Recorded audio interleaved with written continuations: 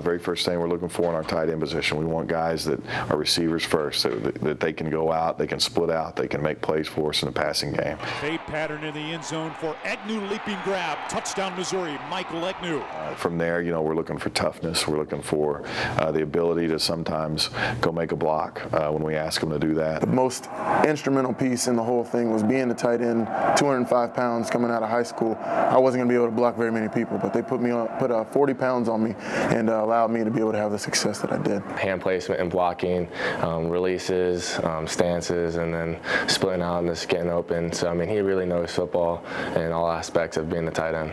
Really what we're looking for from the tight end position is receivers first. Again, we've had Mackey Award winners. The tight end position has been a great position here at Missouri, and it's going to continue to be that.